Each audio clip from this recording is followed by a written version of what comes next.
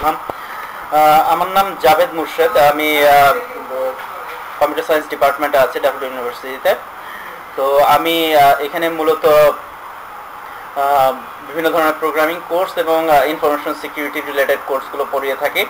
এছাড়াও আমি বিভিন্ন ধরনের ভলেন্টিয়ার অর্গানাইজেশনের সাথে জড়িত। প্রথমে যে ভলেন্টিয়ার অর্গানাইজেশনের কথা বলব, সেটি হলো গুগল ডেভেলপার্স গ্রুপ আমরা জানি যে গুগল একটা টেক জায়ান্ট কোম্পানি এবং কিন্তু গুগলের যেহেতু সারা বিশ্বব্যাপী এবং বিভিন্ন কমিউনিটির নিজস্ব প্রবলেম থাকে এবং সেই প্রবলেমগুলো শুধু ওই কমিউনিটির জন্যই আসলে রেলিভেন্ট এবং গুরুত্বপূর্ণ। এই জন্য গুগল সারা পৃথিবীতেই কমিউনিটিকে তার ডেভেলপমেন্টের মধ্যে এনগেজ করে।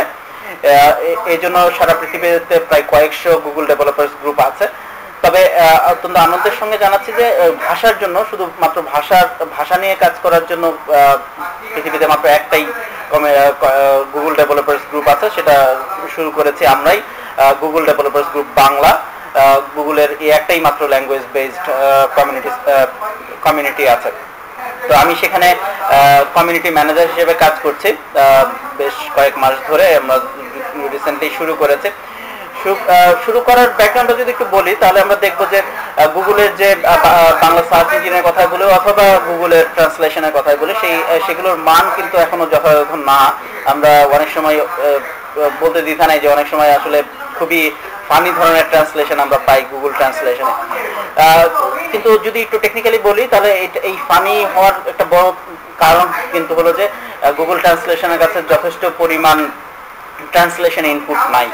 তো যেহেতু গুগল ট্রান্সলেশন একটা মেশিন ল্যাঙ্গুয়েজ মেশিন লার্নিং অ্যালগোরিদমের মাধ্যমে পরিচালিত হয়, তো প্রথমেই এই জন্য আসলে অনুবাদের ইনপুট দরকার। তো আমরা গুগল ডেভেলপার্স গ্রুপ থেকে চেষ্টা করছি গুগল ডেভেলপার্স গ্রুপ বাংলা থেকে চেষ্টা করছি যে কীভাবে যথেষ্ট পরিমাণ ট্রান্সলেশন ইনপুট দেওয়া যায়। আমরা ফেব্রুয়ারি মাস জুড়ে একটা ক্যাম্পেইন চালিয়েছি, আমরা নাম দিয়েছিলাম ট্রান্সলেটার থন আমরা ঢাকা ইউনিভার্সিটি ড্যাফোডিল ইউনিভার্সিটি এবং অন্যান্য অনেক ইউনিভার্সিটিতে ছোট ছোট ওয়ার্কশপ করেছি।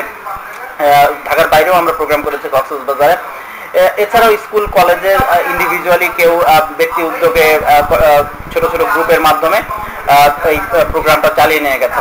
আমাদের টার্গেট ছিল যে আমরা ফেব্রুয়ারি মাসে দুই লক্ষ ট্রান্সলেশন যোগ করব এবং আমরা অত্যন্ত আনন্দের সঙ্গে জানাচ্ছি যে আমরা দুই লক্ষর বেশি ট্রান্সলেশন আসলে ফেব্রুয়ারি মাসে যুক্ত করে, করতে পেরেছি গুগল ট্রান্সলেশনে এবং আরেকটা সুখবর হলো যে গুগলের পক্ষ থেকে আন্তর্জাতিক মাতৃভাষা দিবস অর্থাৎ একুশে ফেব্রুয়ারিতে সারা পৃথিবীর ভাষাভাষী মানুষ, মানুষকে আসলে আহ্বান করা হয়েছিল যে ওই দিনটাতে ট্রান্সলেশনে কন্ট্রিবিউট করার জন্য।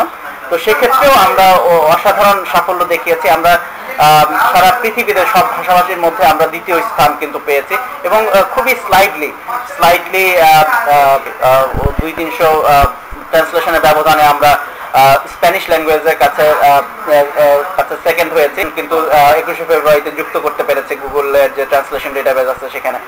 অর্থাৎ আমাদের মানুষ যে আমরা যে বলি যে আসলে ভাষার প্রতি আমাদের ভালোবাসা বা আবেগ আছে, সেটা কিন্তু আরেকবার আমরা প্রমাণ করেছি। আমি আসলে সত্যিকার অর্থে সাধুবাদ জানাই, বিশেষ করে আমাদের দেশে ইয়াং জেনারেশনকে যারা কিনা যখনই সুযোগ পেয়েছে দেশে, দেশের প্রতি, ভাষার প্রতি তাদের ভালোবাসা প্রকাশ করার, কারণ তারা করেছে।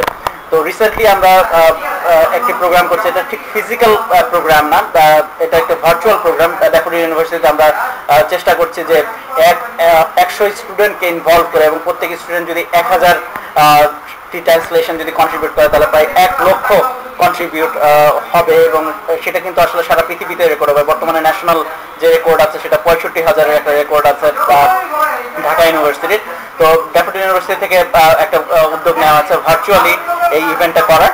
তো আমি আমি আশা করছি যে এখানে আসলে আমরা এক লক্ষকে ছাড়িয়ে যেতে পারব। আমি এই যে যারা অর্গানাইজার আছে ড্যাফোডিলের পক্ষ থেকে আমি তাদেরকে সাধুবাদ জানাই।